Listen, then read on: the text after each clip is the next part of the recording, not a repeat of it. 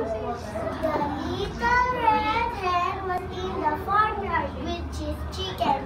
When she found a grain of wheat, who will plant this wheat? She said.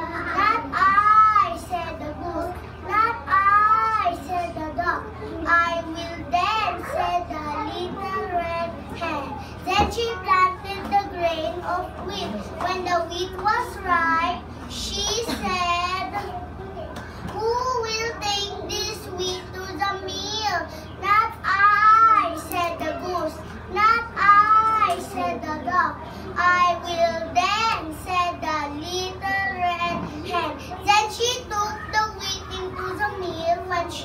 took the flour home. She said, Who will make some bread with this flour? Not I, said the goose.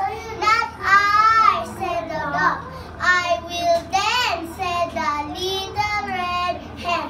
When the bread was baked, she said, Who will eat this bread? I will, said the goose. I will, said the duck. No, you won't, said the little red hen. I shall eat my